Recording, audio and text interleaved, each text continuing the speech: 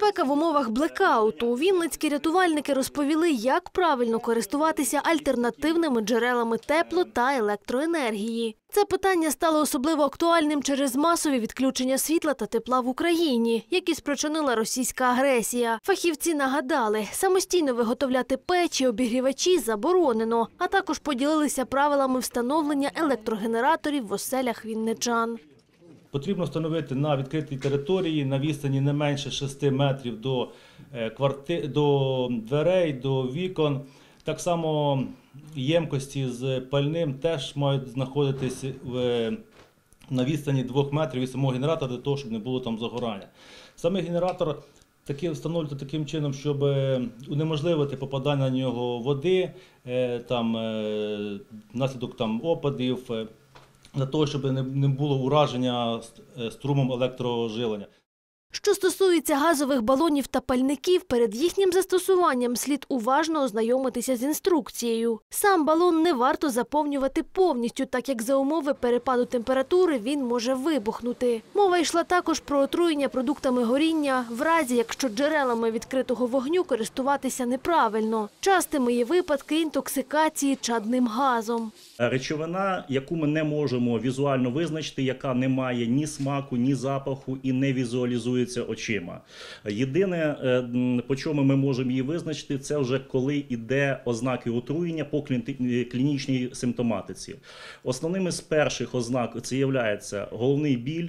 Тиснучий або пульсуючий, це серцебиття, часте дихання, запаморочення і відповідно, яка може бути тиснучий біль в грудях.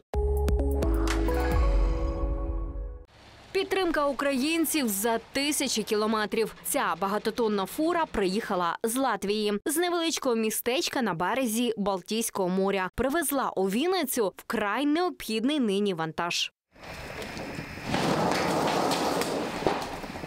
Аби дістати потужні генератори з причепу, залучили підйомний кран. Після масштабних ракетних обстрілів з боку РФ по об'єктах енергосистеми громада Вінниці закупила дефіцитне та дороговартісне обладнання, а також звернулася за підтримкою до європейських міст-партнерів. Відгукнувся Венспілський муніципалітет.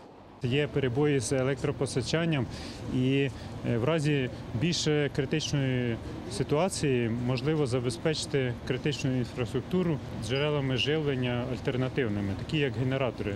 Це досить потужні генератори, один 50 кВт, другий 60 кВт.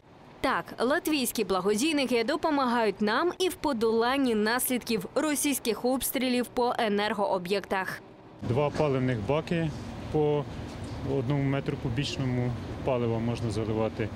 І е, вологих серветок е, 26 палетів загальною вагою десь е, біля 11 тонн. Засоби гігієни розподілять серед пунктів незламності Вінницької громади. Ми дуже вдячні місту Венспілс та латвійському народу за підтримку України та, зокрема, міста Вінниці в, е, перших днів е, повномасштабного вторгнення Російської Федерації.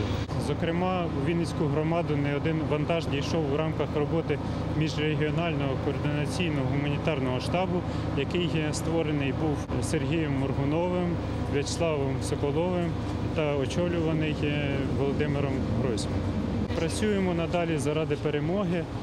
Нагадаємо, угоду про співдружність між Венспілсом і Вінницею підписали кілька місяців тому. Міський голова подякував своєму латвійському колезі за можливість розвивати партнерство далі. Минуло лише кілька місяців від підписання угоди про співдружність між Венспілсом і Вінницею. Але вже зараз чітко розуміємо, що наші відносини не залишилися на папері. Ми відразу налагодили діалог з моїм колегою Янісом Вітеліншем та міською командою Венспілса і цінуємо можливість розвивати партнерство далі. Нагадаємо, це вже не перший вантаж для громади, що надійшов у рамках роботи міжрегіонального координаційного гуманітарного штабу. Знайти найближчий пункт незламності в один клік. В Україні запустили чат-бот для пошуку пунктів обігріву. Про це повідомив заступник керівника офісу президента Кирило Тимошенко. Спеціальний помічник у смартфоні містить інформацію про роботу пунктів, їхні адреси і усі доступні послуги. Також там зібрали адреси приватних закладів, які під час вимкнення електроенергії дозволяють відвідувачам користуватися генератором, аби зарядити гаджети. На випадок відсутності зв'язку українцям рекомендують зберегти необхідні адреси в телефоні. Водночас координати пунктів незламності у тих населених пунктах, які знаходяться близько до лінії фронту, бот не покаже. Це стосується Дніпропетровської, Запорізької, Харківської, Донецької та Херсонської областей.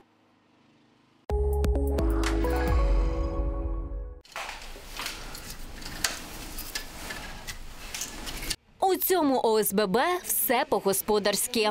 Ми його принесли сюди, в приміщення, щоб воно сохло, і тоді ними легше розпалювати. Мешканці висотки точно не замерзнуть цієї зими, навіть якщо не буде світла і централізованого тепла, бо ж мають півдесятка альтернативних джерел обігріву. В нас є мангал, в нас є тринога, в нас е, генератор. Перш за все, приїхав до нас з Туреччини, ми дуже довго його чекали. Все, в нас все є, все облаштовано для дітей. Ми туди придбали різні е, розфарбовки, олівці. Тут є все необхідне, аби мешканці почували себе як дома: санвузол, кухня, куточок для дітей. Так вінничани пристосовуються до нових реалій життя. Свій підвал перетворили на комфортне, а головне безпечне укриття. Тут до 50 сантиметрів від полу йде. Це перший приклад. Другий повинна бути труба. І там, де в нас було стекло, ми поставили сендвіч, екструдійний пінопласт, і він обклеєний з двох сторін такою, типа як пластмасою. Це під фольгою воно, Да, під фольгою. Тобто то все коричневе, то все сендвіч панель. Але там у нас вирізана дирка на 180 міліметрів і вставлена труба защитна, щоб не грілася іменно цей комін, де виходить дим. Адаптували для приготування їжі і внутрішній дворик. А посеред двору розгорнули літню кухню, яка буде незамінною і взимку в мінусову температуру, так як от сьогодні. Тут є мангал під навісом, встановили буржуєчку із дровами, вже підготували банячок, а ще провели світло і підключили його до генератора. Продумали і що робити, аби через альтернативне джерело енергії не сталося конфлікту з централізованими електромережами. Щоб не було зустрічного току, коли пропадає світло, треба обов'язково поставити такий вимикач. Тобто вимикач на 63 ампера, до нього під'єднуються три фази, і ми під'єднали повністю всі підвали, чотири підвала і дві сходинки клітинок. Коли буде тривога і не буде світла, люди повинні бігти і не впасти, не спотнутися. Також заключили договір на встановлення в дворі апарату для приготування гарячих напоїв та збільшили потужність інтернету. У Хмільнику поліцейські затримали грабіжника, який напав на 17-річну дівчину та відібрав у неї телефон. Злочинцем виявився 31-річний житель Хмільницького району. Він побачив потерпілу ввечері на одній з вулиць міста. Чоловік насильно відібрав телефон у дівчини та втік. Нападника затримали, коли він ховався за магазином неподалік від місця злочину. Тепер йому загрожує до 10 років позбавлення волі. До п'яти років за п'яний наїзд на поліцейського. Ввечері патрульні зупинили водія автомобіля Toyota Corolla. Під час спілкування з ним помітили ознаки наркотичного сп'яніння. Та від проходження огляду чоловік відмовився. Натомість сів до свого автомобіля та почав тікати. Вимоги зупинитися ігнорував. А на одному із перехрест під час переслідування та блокування автомобіля водій наїхав на поліцейського. Затриманий наразі в ізоляторі тимчасового тримання. Канцтовари це якісь олівчики, розмальовки, книжки дитячі. А ще одяг, іграшки, засоби гігієни, ліхтарики, свічки і солодощі. Усе це волонтери центру реабілітації Гармонія збирають для дітей з деокупованої Балаклії. Кожну коробочку любові формують індивідуально. Якщо для меншої дитинки дивимося там, щоб вже співпадало, хоча б там, наприклад, носочки, іграшка, щоб воно було якогось такого більш-менш однакового розміру. Ось колготочки дитячі в нас є. Пакунки від вінничан для діток з Харківщини волонтери повезуть вже вдруге. Дітки писали листи, писали прохання, що вони хочуть отримати на подарунок. Вони не знають про коробочки, вони знають просто про те, що їм привезуть подарунки. А які подарунки вони цього не знають. Але е, в тих листах було е, солодощі і іграшки переважно. З-поміж усіх одна коробочка відрізнятиметься. 11-річний Олег, який пережив рашистську окупацію, у волонтерів попросив лише одне. Він не просив там солодощів, ноутбука, він захотів прапор. І е, одна з наших клієнток, е, мама вірніше одного з наших клієнтів, хлопчика, принесла ось таку сумку. Вони тут наповнили її там е, всім, чим вони хотіли поділитися з цим хлопчиком. Тобто тут багато всього такого, ну подібне, як в інших коробочках, але додатково вони ще поклали малюночок. Армія нас боронить слава ЗСУ. Це спеціально для цього хлопчика Олега. І ми підготували ось йому прапор. І це для нього буде персональна коробочка, яка буде трошки відрізнятися. Формують презенти волонтери з того, що допомогли зібрати небайдужі вінничани. Це наші вінничани, це люди, яких я обожнюю просто, знаєте, бо ми думали, що ну, кожного разу зараз зборів різних багато. Зараз багато і ми вже збирали і на балаклію, і на різні речі. Ми думаємо, ну не знаю, але люди приносять, діти приносять, діти своїми іграшками діляться. Допомогу збирають в рамках проекту разом. Загалом до Балаклії волонтери відвезуть 100 коробочок любові. Гармонівці нагадують, долучитись до акції і поділитись теплом задля єднання наших міст можна до 14 грудня. Це ініціатива Культурний десант Ніколая Сергієвого групи, але вони ну, об'єднали дуже багато організацій, багато міст, і ми за це дуже вдячні. Це дуже гарна ініціатива. І зараз і міська рада наша долучилася дуже гарно в підтримці міста Балаклія. Вони там теж звідти там пишуть і кажуть, що ми не очікували, що такий момент буде. Нагадаємо, вінницькі волонтери міжрегіонального гумштабу вже двічі передавали допомогу до деокупованого міста. А депутати міськради на попередній сесії одноголосно проголосували за передачу 10 мільйонів гривень на відновлення деокупованої Балаклії.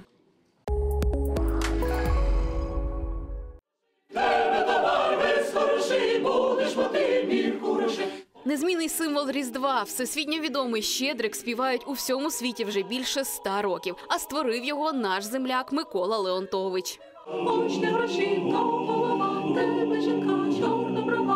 Цього року відзначають 145 років з дня народження українського композитора, диригента, піаніста, педагога.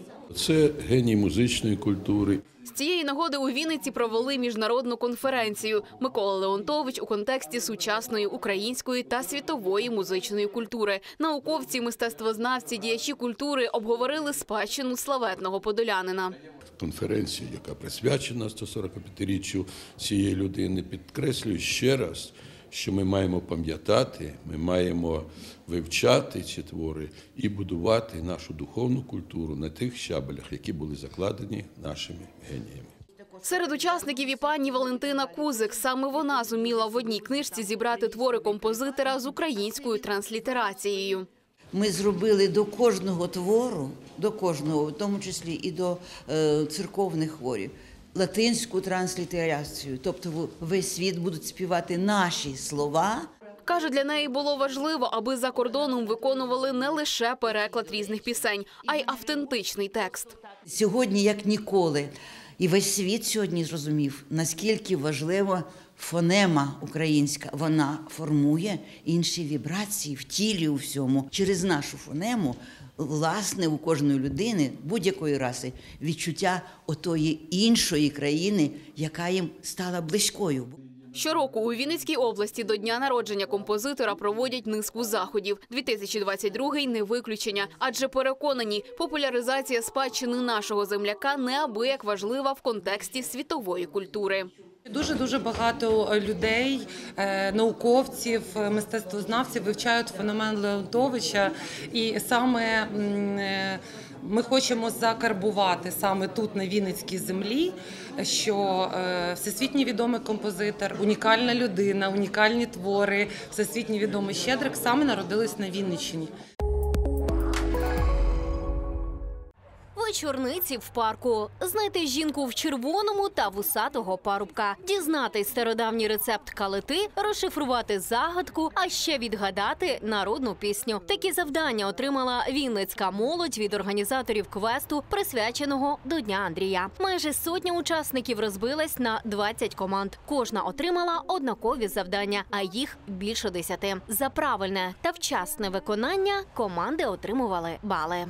Такі розваги дуже потрібні, щоб людям е, відволіктися, переключитися, трішки розважитися і перевести, так скажемо, дух. Як рефлексія я вбачаю, не знаю. Тут, щоб більше піднімати дух, це більше як розслабитися після напруженої роботи, у когось навчання, у когось щось. Так трішечки в такі важкі часи відчути свято якесь, можливо, і, і спокій. Поспілкуватись з однолітками, згадати прадавні традиції святкування Андрія, отримати подарунки. Саме з такою метою для студентів Вінницьких університетів та коледжів, а також учнів профтехучилищ, організував вечорниці у парку відділ молодіжної політики міської ради. кажуть, з першого дня війни місцева молодь стала одним волонтерським фронтом у допомозі переселенцям з постраждалих від лап рашистів українських міст. Плетуть сітки, заливають окопні свічки, збирають гумвантажі. Тож квест став для них своєрідним подарунком. Цього разу ми дещо змінили формат нашого квесту, щоб більше прийняло участь в нас і команд, і учасників. Ми е, зробили так, що всі е, завдання будуть відгадувати учасники через QR-код. Всі завдання в нас пов'язані саме зі святом Андрія, згадування українських народних пісень, традицій, різних звичаїв. В кінці нашого квесту учасники зможуть взяти участь у святковій лотереї, і дехто з них дізнається своє майбутнє, а дехто і отримує подаруночки.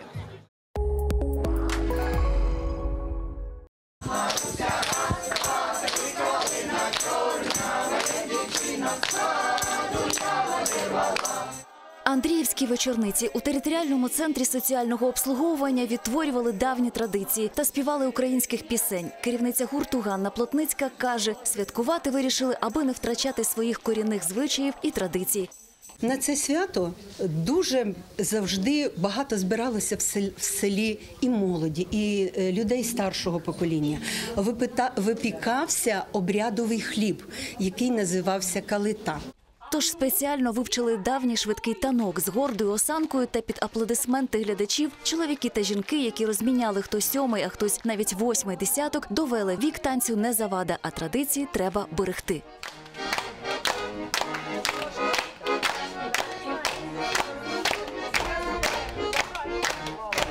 З давніх давен в ніч з 12 на 13 грудня українці збиралися разом і намагалися зазирнути в своє майбутнє та ворожили на квасолі. Відтворили в терцентрі і цей обряд. В цьому році після Великодня приїде на коні гарний козак. А багато. І нарешті відповідальний момент проба калити. Хліб це незвичайний. Спекли, а рум'яна, а духмяна. А красива. А красива, смачна. Він у формі кола. Але обов'язково була дірочка. Для чого ж вона? Вона була для того, щоб її можна було підвішувати до сволока. І е, е, вечорниці на Андрея, уявіть собі, збиралося ну, по пів села в одну хату. Лунали пісні, танці, старовинні.